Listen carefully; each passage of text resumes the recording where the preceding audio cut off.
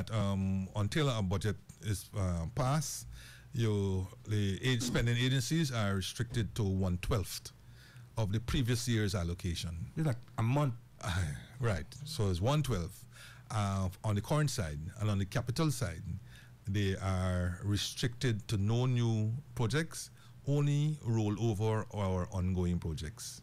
The minister made this disclosure during an interview on Vibes 100.1 FM with radio broadcaster Malcolm Ferreira.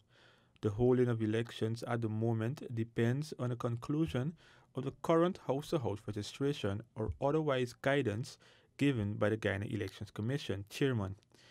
Minister Jordan pointed out that after elections are held, the elected government then has a specific period to prepare a budget. No budget will be presented after elections, right? Right. Do you agree with and that? three months, you have three months within after the election to present the budget. With a date for election to be determined and the administration's interim status, President Granger has acknowledged that the government will not pass a national budget.